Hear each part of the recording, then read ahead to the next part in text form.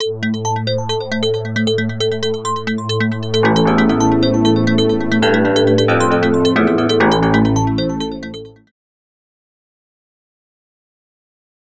Malaysia Berhad or TM is collaborating with hotel operator Accor to provide its latest ICT and entertainment package to hotels. The package comprises in-building broadband solutions and TM's own IPTV services, including HyppTV and a call center service. All these will be powered by TM's high-speed broadband network connectivity. At the collaboration signing ceremony, TM Executive Vice President Azizi Hadi said TM and Accor will also be partners in the form of loyalty programs, marketing strategies, and promotions. However, he declined to reveal the expected profits from the venture, nor disclose the amount of investment put into the partnership.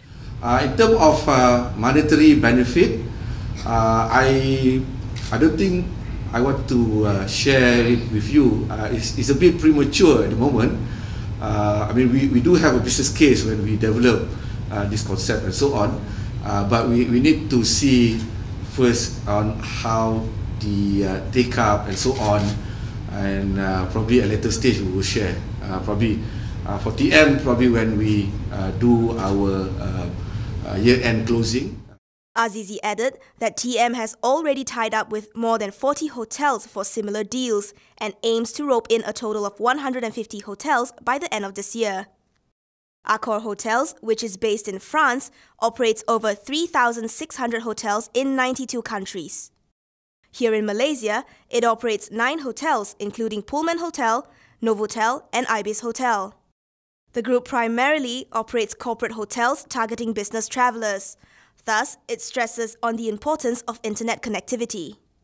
Yes, But we should not look at number of hotels only, but we should look at number of customers because I believe uh, today we have probably around 2,000 customers a day coming, staying in our hotels, and this is the, the target for uh, for uh, Telekom Malaysia because they will be using also the, the internet service as I mentioned.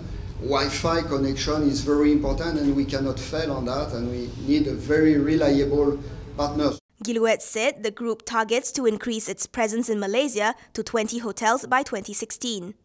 Jacqueline Peng, The Edge TV.